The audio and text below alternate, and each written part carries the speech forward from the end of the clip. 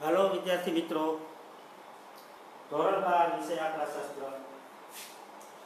પ્રકરણ એક, સૂચકાંક.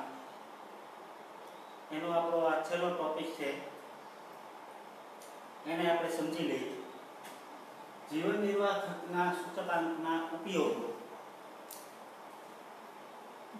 તો જીવન નિર્વાહ ખર્ચના સૂચકાંકના ઉપયોગોનો પ્રશ્ન તમને બે માર્કમાં બોર્ડની પરીક્ષામાં પૂછાઈ શકે છે. તો જીવન નિર્વાહ ખર્ચના સૂચકાંકનો ઉપયોગ શું હોય? શા માટેની રચના કરવામાં આવે અને શા માટે શોધવામાં આવે છે? એને આપણે સમજીએ. તો સૌથી પહેલું જુઓ કે જીવન નિર્વાહ ખર્ચના સૂચકાંકની મદદથી જે તે વર્ગના લોકોની નાણાંની ખરીદ શક્તિમાં થતા ફેરફારો માપી શકાય.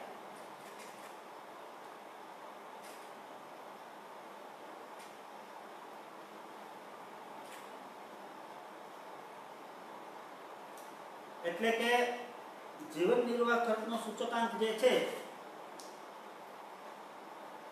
એ એટલા માટે રચવામાં આવે છે કે જેની મદદથી જાણી શકાય કે કે લોકોની ખરીદ શક્તિ કેટલી છે.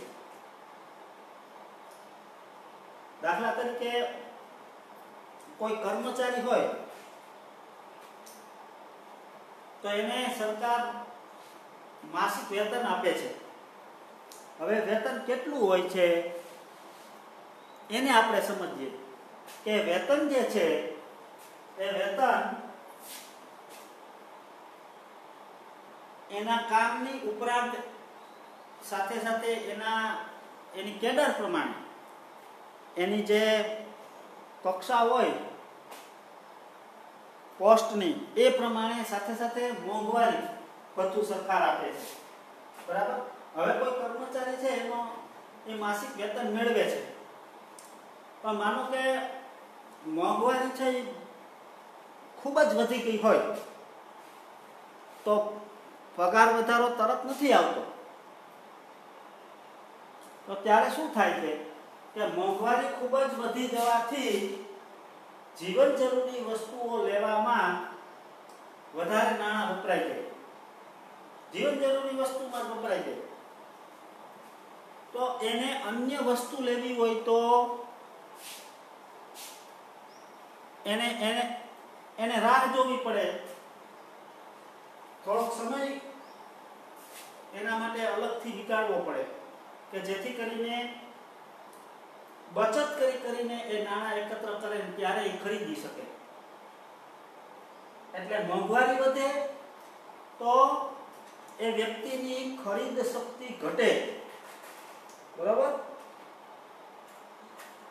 આ રીતે નાણાંની ખરીદ શક્તિ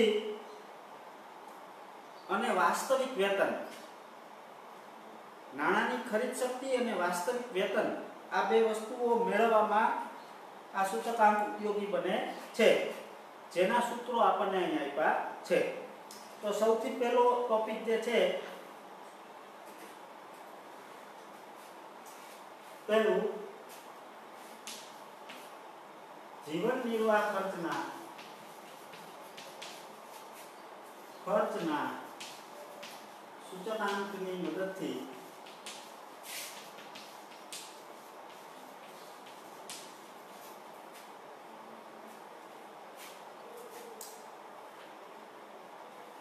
જે તે વર્ગના લોકોની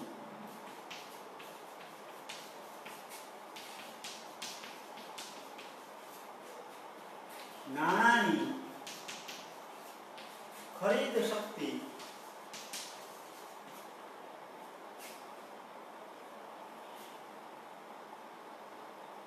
માં થતા ફેરફારો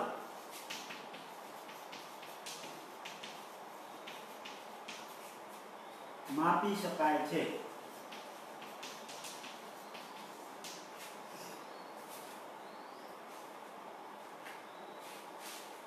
અને નાણાંની ખરીદ શક્તિ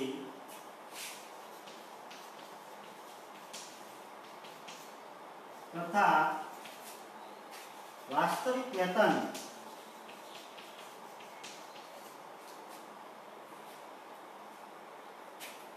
ની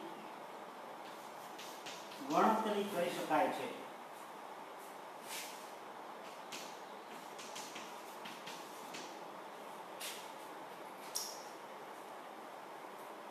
નાણાંની ખરીદ શક્તિ અને વાસ્તવિક વેતન ગણી શકાય.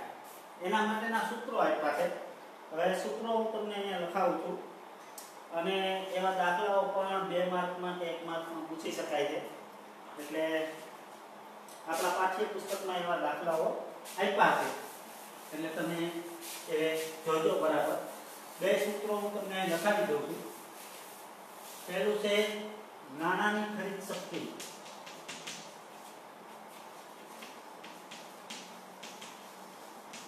બરાબર.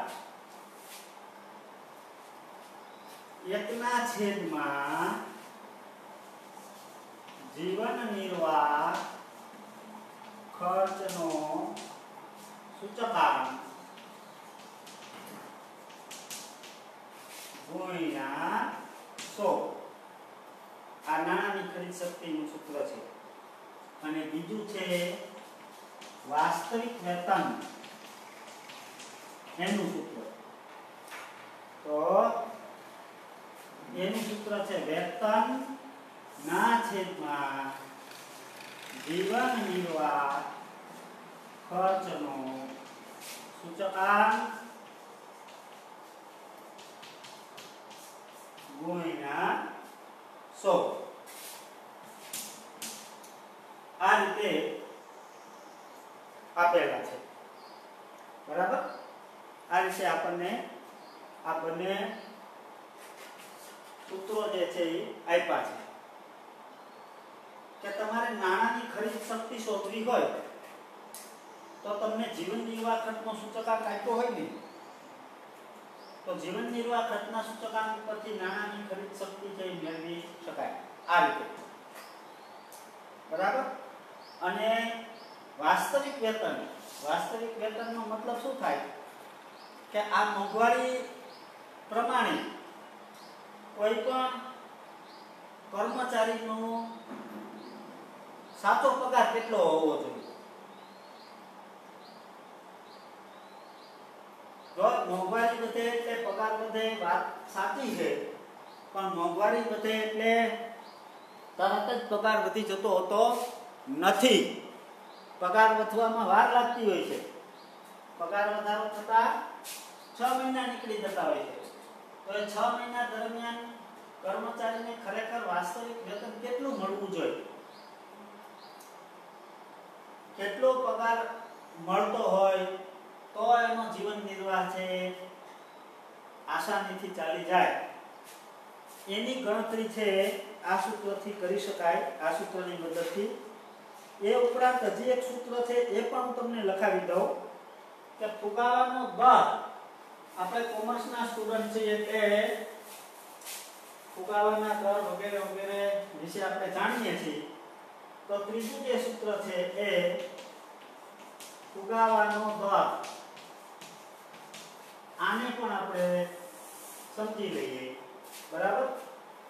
ચાલુ વર્ષનો જથ્થાબંધ ભાવનો સૂચકાંક. ચાલુ વર્ષનો જથ્થાબંધ ભાવનો સૂચકાંક. ગુણ્યા. અગાઉના વર્ષનો જથ્થાબંધ ભાવનો સૂચકાંક.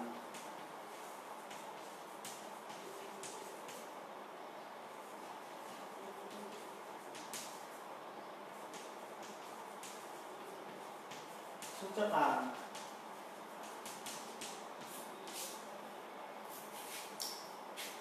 ના છેદમાં અગાઉના વર્ષનો กระทั่งเรื่องราวของสุจตา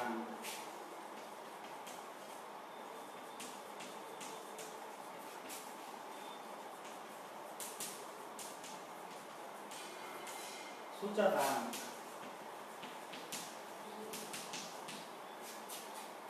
บุญนะศพ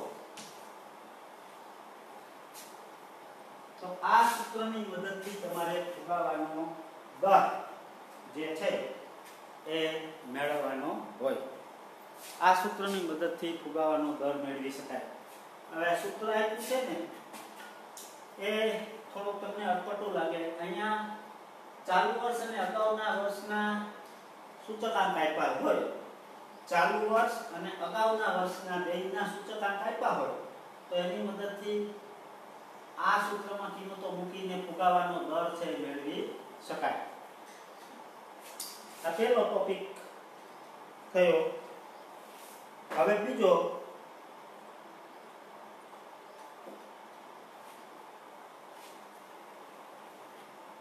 કે જીવન નિર્વાહ સૂચકાંક, જીવન નિર્વાહ ખર્ચનો સૂચકાંક જે છે, એ જે તે વર્ગના લોકોની વાસ્તવિક આર્થિક પરિસ્થિતિ જણાવે છે.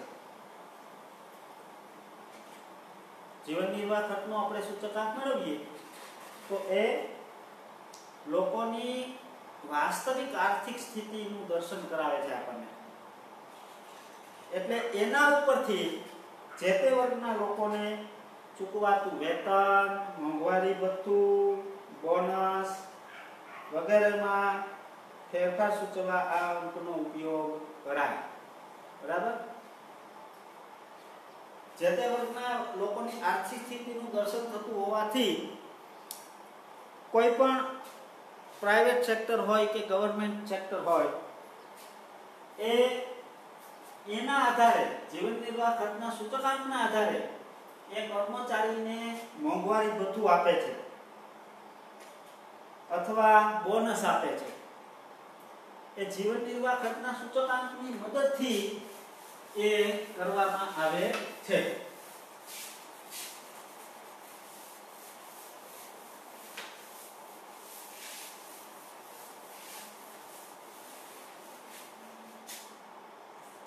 બીજો મુદ્દો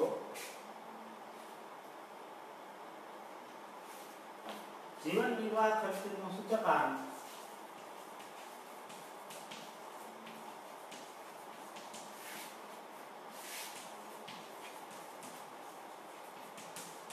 જે તે વર્ગના લોકોની આર્થિક સ્થિતિનું ચિત્ર રજૂ કરે છે.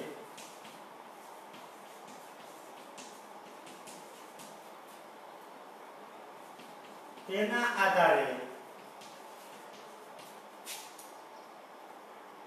તે વર્ગના લોકોને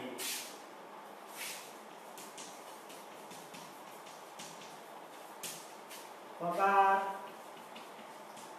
મોંઘવારી ભથ્થું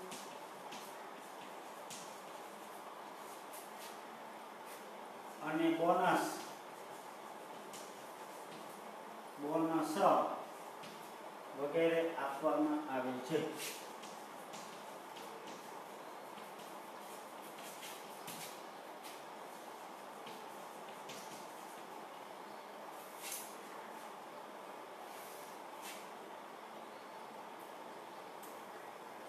પછી ત્રીજો મુદ્દો જીવન નિર્વાહ ખર્ચનો સૂચકાંક.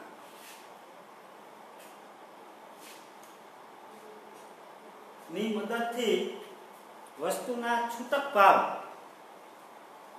જીવન નિર્વાહ ખર્ચના સૂચકાંકની મદદથી વસ્તુના છૂટક ભાવની લોકોના જીવન ઉપર કેવી અસર પડે છે તે જાણી શકાય છે. અને તેના આધારે સરકાર છે એ અમુક વસ્તુ ઉપર પ્રતિબંધ મૂકે છે, જુઓ. અમુક વસ્તુ આવશ્યક વસ્તુ આવશ્યક વસ્તુ ધારા હેઠળ અમુક વસ્તુના વેચાણ ઉપર કે સંગ્રહ કરવા ઉપર પ્રતિબંધ મૂકે છે. તો કઈ વસ્તુ ઉપર પ્રતિબંધ મૂકવો?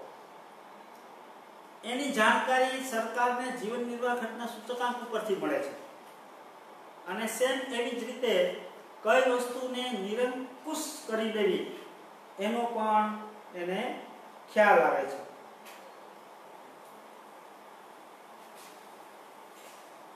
તો ત્રીજો મુદ્દો છે, ત્રીજો મુદ્દો એ લખીએ.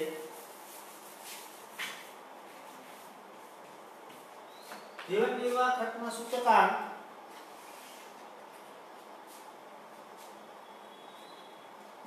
મદદથી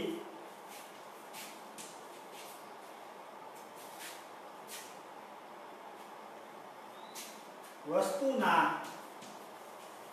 છૂટક ભાવની અસર.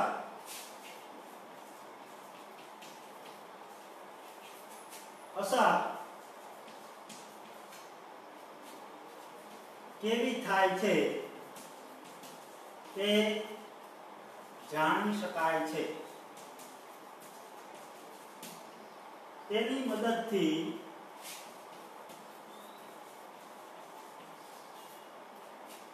સરકાર ને કઈ વસ્તુ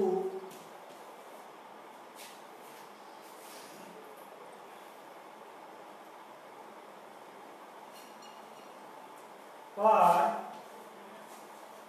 આવશ્યક ધારા હેઠળ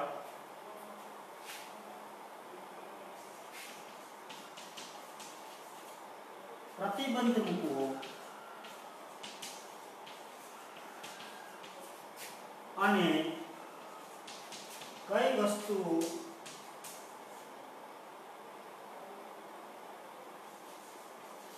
મુક્ત રીતે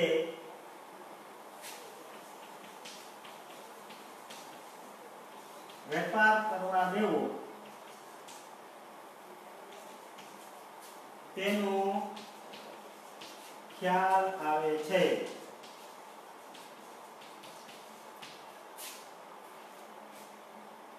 સરકારને આનો ખ્યાલ આવે જુઓ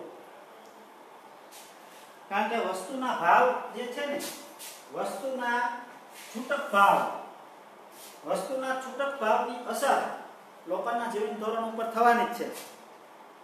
કોઈ પણ વસ્તુનો ભાવ અચાનક વધી જાય, તો લોકોના જીવન ઉપર એની અસર થવાની જ છે. એટલે જીવન નિર્વાહ ઘટના સૂચકાંકની મદદથી એ વસ્તુના છૂટક ભાવની અસર લોકો ઉપર કેવી થાય છે એની એની જાણકારી મળે. આ જાણી લીધા પછી, હવે પછીનું કામ સરકારનું છે. એટલે જીવન નિર્વાહ ખર્ચના સૂચકાંકની ગણતરી જે છે, એ મોટાભાગે સરકાર, સરકારી ડિપાર્ટમેન્ટ છે. એને જ કરવાની છે. આ સૂચકાંકની મદદથી જે વસ્તુના ભાવ આકસ્મિક રીતે અતિશય વધી જતા હોય, એવી વસ્તુ ના વેચાણ ઉપર એના સ્ટોક ઉપર એટલે કે જથ્થાના સંગ્રહ ઉપર સરકાર પ્રતિબંધ મૂકી દે. કે આ વસ્તુ છે, એનો કોઈ પણ જગ્યાએ આટલાથી વધારે સ્ટોક હોવો જોઈએ નહીં. પછી વેપારી ગમે તેવડો મોટો હોય. લોકોના ઘરમાં તો સ્ટોક હોય જ નહીં. આ લોકોના વેપારીઓના જે ગોડાઉન છે, એમાં સ્ટોક હોય. એટલે સ્ટોક ઉપર પ્રતિબંધ મૂકી દે. આવશ્યક ધારા હેઠળ. બરાબર? અને જે વસ્તુ છે, એનો ભાવ ન વધતો હોય, તો એવી વસ્તુ છે એને મુક્ત રીતે વેચવા દઈએ. આ નીતિ નક્કી કરવા માટે જીવન નિર્વાહ ખર્ચનો સૂચકાંક છે, ઉપયોગી છે. પછીનો ચોથો મુદ્દો, જીવન નિર્વાહ ખર્ચનો સૂચકાંક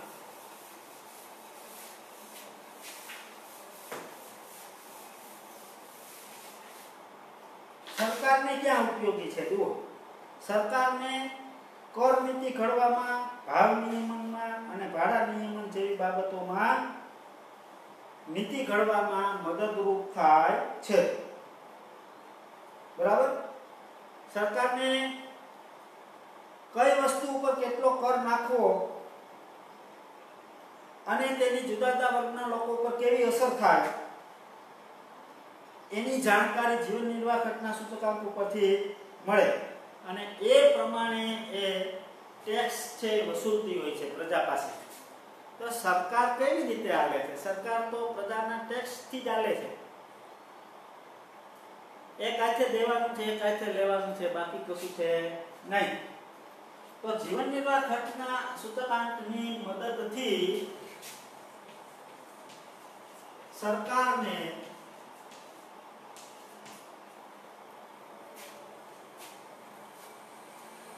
કર નીતિ ઘડવામાં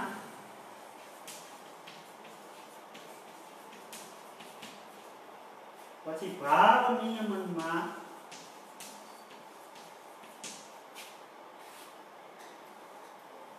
અને ભાડા નિયમનમાં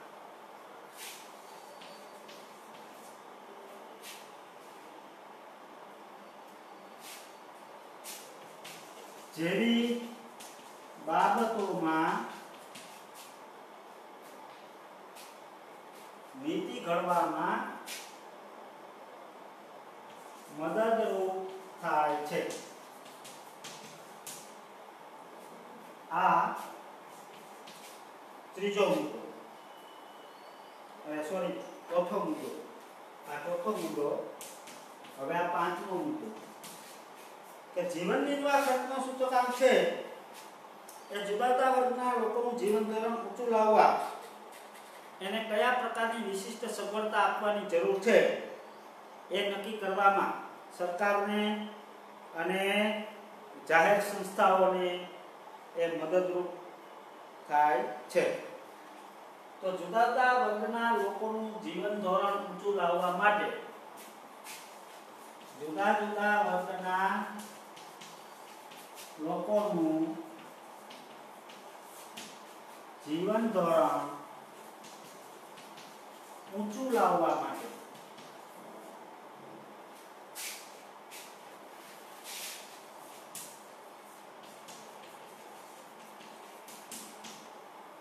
ઊંચું લાવવા માટે તેને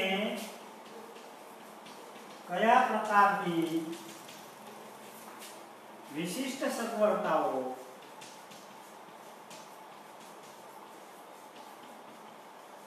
આપવી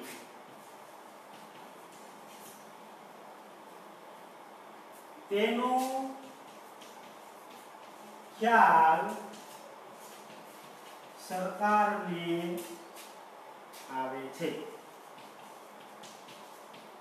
તો સરકારને આ ખ્યાલ છે એ જીવન નિર્વાહ ખર્ચના સૂચકાંકના આધારે મળે. અને એના આધારે તે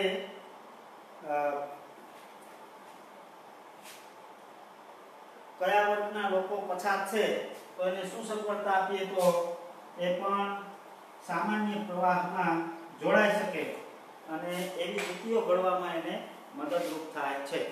તો આ જે છે એ જીવન નિર્વાહ ઘટના સૂચકાંકના ઉપયોગો છે. તો આટલા ઉપયોગો છે. આપણે બરાબર તૈયાર કરી લેવાના છે. અને એના પછીનો ટોપિક જે છે કે જીવન નિર્વાહ કરના સૂચકાંકની મર્યાદા. મર્યાદાઓ. જીવન નિર્વાહ કરના સૂચકાંકની મર્યાદાઓ.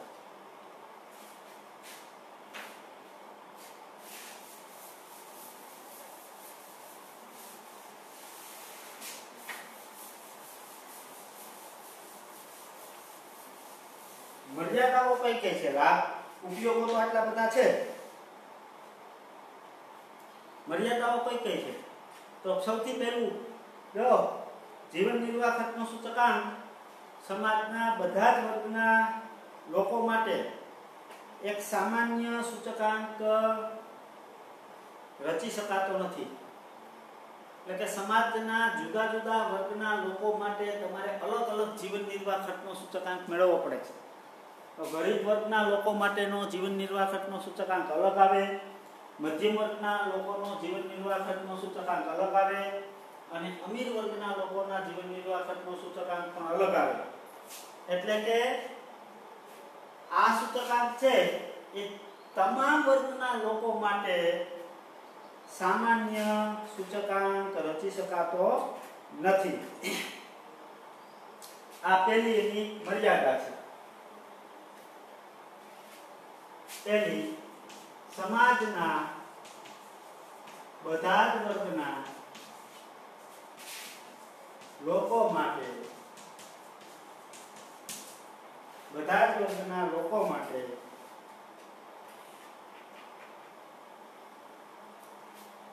એક સામાન્ય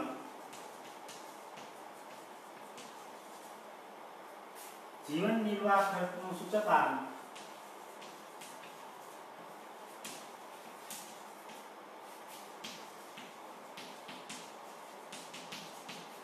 મેળવી શકાતો નથી.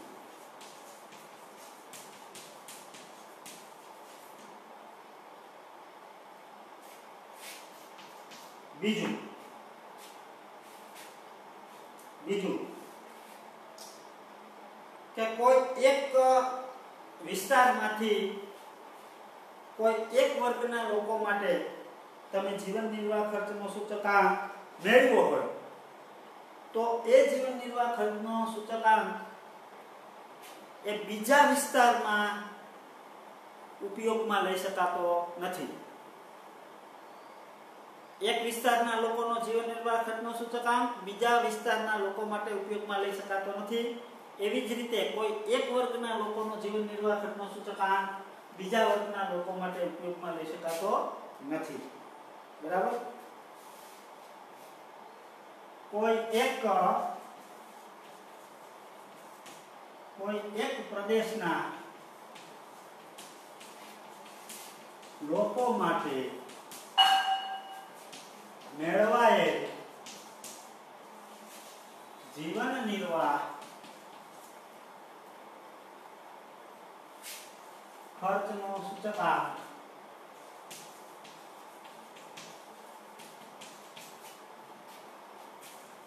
બીજા પ્રદેશ માટે ઉપયોગમાં લઈ શકાતો નથી.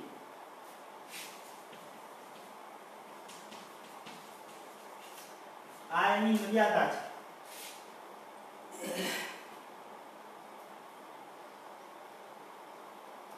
ત્રીજો, જીવન નિર્વાહ ખર્ચનો સૂચકાંક છે એ કોઈ એક વર્ગના લોકોના ખર્ચમાં થતો સરેરાશ ટકાવારી ફેરફાર દર્શાવે છે.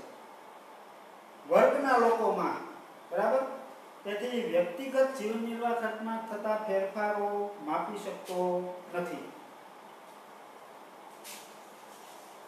જીવન નિર્વાહ ખર્ચનો સૂચકાંક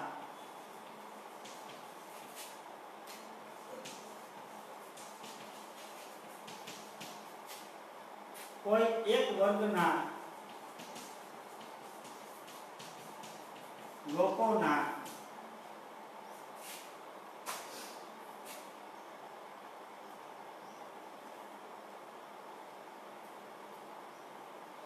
ખર્ચમાં થતો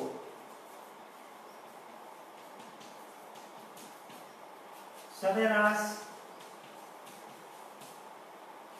ટકાવારી ફેરફાર દર્શાવે છે. તેથી તે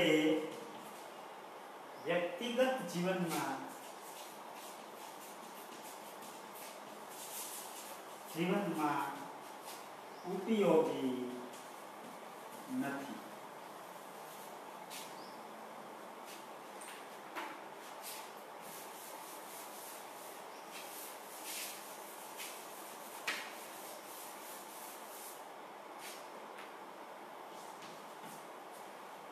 ચોથું જુદા જુદા વર્ગના લોકો અને જુદા જુદા પ્રદેશના લોકો માટે અલગ અલગ જીવન નિર્વાહ ખર્ચના સૂચકાંકની રચના કરવી પડે છે. જુદા જુદા વર્ગના લોકો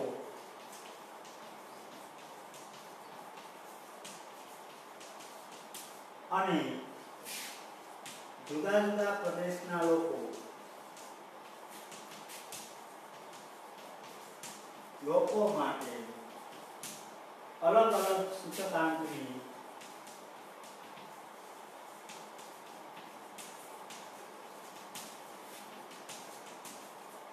રચના કરવી પડે છે પાંચમું હું સમજાવી દઉં તમે લખી લેજો એક જ વર્ગના લોકોના ખર્ચ એમના કુટુંબના પદ રહેણીકેની શોખ તે વગેરે પર આધારિત છે. એક જ વર્ગના બધા કુટુંબના ખર્ચનું પ્રમાણ એકસરખું હોતું નથી. તો કોઈ એક જ વર્ગ લીધો હોય તોય જુદું જુદું હોય. કુટુંબ પ્રમાણે બધું જુદું જુદું જ હોય. કે કોઈ એક જ વર્ગ લીધો, માનો કે તમે ગરીબ વર્ગ લીધો, તો ગરીબ વર્ગના લોકોમાં તે એનું જીવન ધોરણ કેવું છે? એના શોખ કેવા છે, એની ટેવ કેવી છે, એની રહેણી કેણી કેવી છે, એની ઉપર આધાર રાખે છે. એટલે એક જ વર્ગના લોકો માટે પણ જે જીવન નિર્વાહ ખર્ચનો સૂચકાંક મેળવો, એ બધા જ કુટુંબને લાગુ ન પડે. બરાબર? પછી છઠ્ઠું જે છે એ, કે જીવન સૂચકાંકની ગણતરીમાં આધાર વર્ષ છે. એને આધાર વર્ષ. એની સરખામણીએ ચાલુ વર્ષે રહેણી કહેણીમાં થતા ફેરફારો. ફેરફારો તો થાય જ. આ વર્ષે જે આપણે રહેણી કહેણી ભોજવી હોય, એવી ચાલુ વર્ષે, ગયા વર્ષે ભોગવી એના કરતાં ચાલુ વર્ષે આપણું જીવન ધોરણ ઊંચું જાય એવો જ આપણે પ્રયત્ન કરતા હોઈએ છીએ. બરાબર? એટલે આવી ધારણા કરવામાં, અહીંયા ધારણા કેવી કેવી છે? કે ગયા વર્ષે જેવું હતું એવું ને એવું અહીંયા ચાલુ વર્ષે છે એમ ધારો. સૂચકાંકની ગણતરીમાં આ ધારણા કરવામાં આવી છે એ ખરેખર વાસ્તવમાં એવું નથી. લોકોના બદલાતા મિજાજ અનુસાર એની ટેવ, એના શોખ, એની પસંદગી વગેરે પણ બદલાય છે. એટલે કૌટુંબિક અંદાજપત્ર તપાસ કરી વસ્તુઓને તેના ભારમાં ફેરફાર કરવો જરૂરી છે. તો આ બે ટોપિક છે, તમે લખી લેજો અહીંયા આપણું આ પહેલું ચેપ્ટર છે, આજે પૂરું થાય છે. તમને એ અને બી વિભાગ મેં હોમવર્કમાં આપી દીધા છે. હવે